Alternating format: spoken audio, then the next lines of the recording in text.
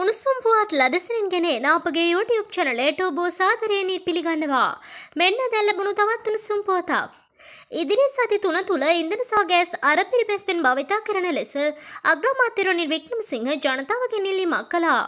පාර්ලිමේන්තුවේදී අද විශේෂ ප්‍රකාශයක් සිදු කරමින් අග්‍රාමාත්‍යවරයා සඳහන් කළේ අනවශ්‍ය ලෙස ඉන්දන සහ ගෑස් රැස් කර තබා නොගන්නා ලෙසයි.